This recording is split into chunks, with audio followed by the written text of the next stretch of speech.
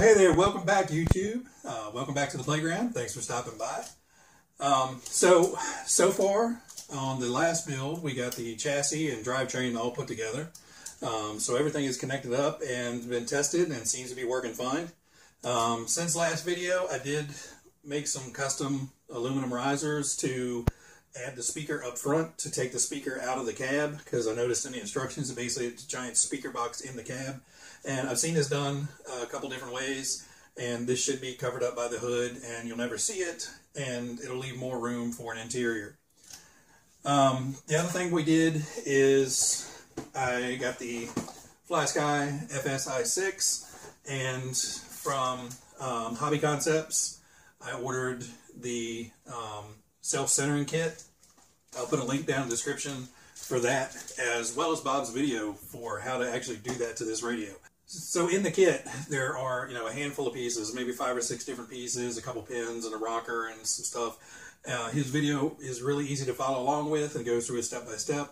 Um, that spring, you're going to have fun with that spring. um, it took seven or eight attempts to actually get that little spring connected in the radio, but uh, I got that in. Um, I actually went through Bob's instructions on setting up the radio with the proper throws and everything because I'm going to set it up like he does in his videos. Um, so I wanted to get that all done, so I did that last night um, while I was in, inside in front of the computer. So I got this all set up and ready to go, hopefully. So now we can turn our attention to start the next steps, which looks like installing some of the chrome parts, as well as starting to put in lights and stuff in the bumpers and, you know, parts as we're putting them on, and also some stickers as we're putting them on, because it looks like some of them are going to be really hard to put on later down the road. So I'm going to start going through the next steps, and I'll come back once um, I kind of have something that looks a little bit more like a truck than this does. So, see you in a minute. All right, guys, I'm back, and just as an update, I've had to bring up a table to put beside the workbench because I've got so much stuff on the workbench because you're jumping from here to here to here to here, and there's hardware and par parts trees and wiring and everything everywhere. Anywhere you go to do this, have plenty of space. But but we have made progress. Um, we've got the side steps on, the multifunction control box installed. Um, don't do what I did and you know put the thing together um, because it does take double-sided tape to put it together and forget to put the wire in. Um, you can get it in afterwards. Believe me, I know. Um, but that was one thing. We got the fuel tanks put together and assembled. I still need to put the caps on them. Um, we got the uh, unlock lever and the fifth wheel all put together and the switches wired in there for the uh, switch that operates the sound of you know the lock and unlock. Um, I will probably get a servo to do the electronic unlock and lock, lock and put that on a separate switch on the radio probably um, just to get rid of this you know manual thing and I kind of want to plate the back of this but I'm getting ahead of myself but it is cool if you're going to paint it the the stock blue they give you blue stickers to put over the top of the tank rails to kind of break it up. Plus, you know, match the color of the truck. That's kind of cool. Um, so next, uh, looks like a lot of wiring. Um, I did start on the bumper. So we've got the, the back bumper wired up, LEDs in. Now, this is where it began to get a little confusing in the manual. Because in the manual, it shows all three of these um, holes having LEDs and that is not the case. The MFC unit comes with one wire and fills up an LED in that center hole. And then the same thing down here, we have um, four on each side, but you only get three lenses or three lights to go in there. The other one's just going to be a dead lens for right now. Eventually, you know, I'll probably solder in some extra wires and insert this. It shouldn't be too bad, but right now I don't have any of the, the little LEDs and I'm not going to delay, you know, putting the rest of the truck together that long to order them. That's kind of how this ended up happening. I could have ordered this from Bob's uh, Hobby Concept site. I just I, it took me an hour to make it versus you know four or five days to wait for it, and I don't want to wait. When I got the kit, you know, I kind of organized everything, and all the body and fenders and interior and driver were all cast in white plastic. And I knew I was going to need those down the road because, you know, I wasn't painting anything right away. I wanted to start working on the truck, get the truck going because, you know, I knew how much time it was going to take to put all this together. So I set all that stuff aside. And then I got to the bumper step. And these back covers, hmm, I came to find out they're on those white parts trees because I was tearing up everything I had on the bench, everything in the MFC box, looking for parts tree H, and I'm like, there is no H.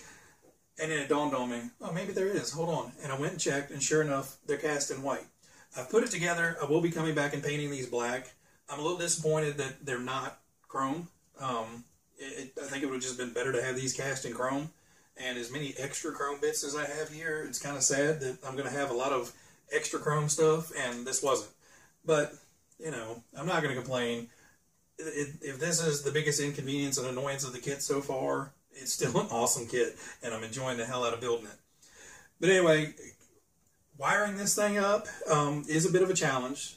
Um, if you're used to wiring stuff up, probably no big deal.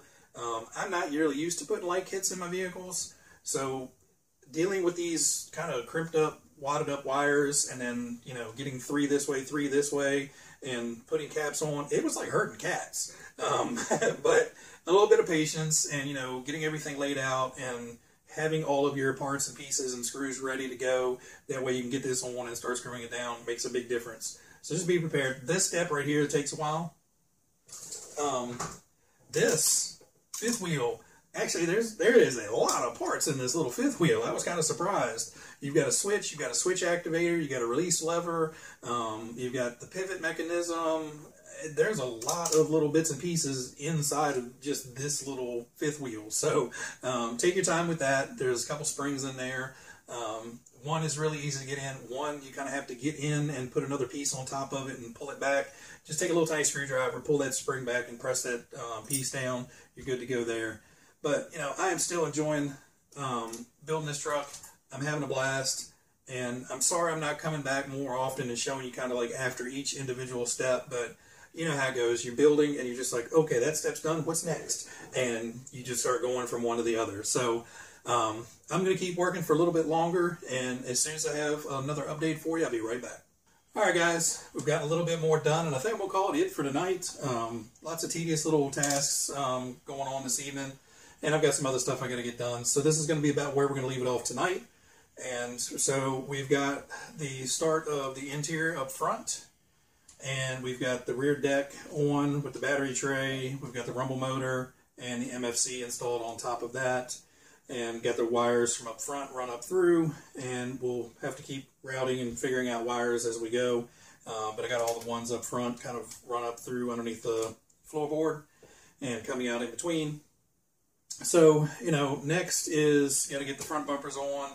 Uh, I mean, the, the back bumper on. I got to get this painted and get that put on uh, start fishing all those wires from the back to the front and then putting those in a loom. So I've got to, you know, get all the spaghetti to go that way. I just don't have it any night and I got stuff, other stuff I got to get done. So that's where we're going to leave it. I'll be back tomorrow. Um, you'll be back in half a second. So see you in a second. Well, hey guys, welcome back. Um, so we've got a little bit more work done on the truck. So we've got the MFC installed. We've got the radio system installed, so receivers in, plugged in, um, hooked up the servos, and have tested everything to make sure, you know, left is left, right is right, forward, back, and all that good stuff. Um, we've started running the wires from the rear bumper up to the front in some wire loom. Um, the kit does come with some wire loom, but it's like two fairly short pieces. Um, you can pick this stuff up on Amazon, super, super cheap. Um, I'll put a link down below if I can remember, but I think this was um, six mil uh, wire loom, and it, it, works perfectly for this this group of wires uh, running from the back to the front. Um, right now, this kind of looks like Medusa. It's got stuff going everywhere, um, but we've tested it. Everything works. So at this point, build wise, truck is done. Um, we just have to do all the remainder of the wiring and everything else is going to be cosmetic. So I've got to start working on painting the body. I've got to work on start painting the interior and the bucket of driver bits. Um, we've got to paint, you know, the little uh, rubber pipes coming off of the air cleaners and stuff. Um, so I have a bunch of painting to do. So for now, um, I think we're just going to wrap this one up. And then once I get everything painted, because it's going to take a few days to get all that stuff painted, because I got to paint, prime it, paint it, sand it. Um, I do want to show you one thing. If you really are going to put a good, good paint job on here, it's one thing you really need to do. So first thing I've done is paint the inside of the whole body black. Um, obviously, you know, most truck interiors aren't going to be white, and the fenders and all aren't going to be white. So I just blasted this with just regular um, plastic appropriate spray paint, and um, but and never mind all the overspray, all that's going to get sanded off. But I don't know if you can see it on the camera, but around the roof, the cab line, and the roof line of the cab of the actual truck, and right down the front edges of the hood, there's some mold lines that run around there, and if you don't sand those down, or you can take the back edge of a hobby knife and kind of file them down. But if you don't remove those and you put a really gloss paint job on it, they're going to stick out. You're going to see those little ridges. Um, the other thing is if you start, um, if you put a nice coat of paint on here and you start kind of wet sanding it, you may sand through that and leave a white line. And now you're back to putting a whole other coat on there to cover that up. So I'm going to knock all these off before I paint the exterior. And that'll save me some time later on trying to, you know, sand out those pieces. So I cut the um, aerial mount for the antenna tube to stick out of it. So this receiver, the antenna is not going to come through the roof. So um, we're just going to take this, file it down, patch it with some um, plastic or filler, and sand that smooth as well. So that's so that'll leave the top of the sleeper, you know, silky smooth. So that's what we're going for. Um, but what I'll do is I'm letting this dry overnight, and then I will tape off the interior part of this. That way I can worry about just focusing on the outside and getting the outside really, really nice and finished. And then I can just peel off the tape off the inside and, you know, it's already been back sprayed with the black. So it'll, it'll look and uh, you won't be able, it'll all look like shadow in there. It won't look like white plastic in the corners and stuff. But we do have it um, hooked up so I can turn the radio on and hush the radio up, and then we can turn the truck on.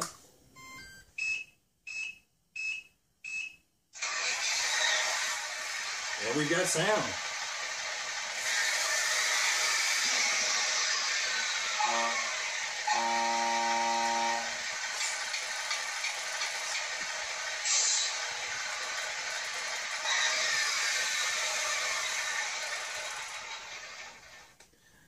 Once we get it all finished and we get up close shots, you guys will actually be able to see how much this thing shakes. That little rumble motor in there, I mean, no wonder they give you the Loctite and tell you to Loctite everything that goes metal to metal because that little rumble motor is going to shake everything.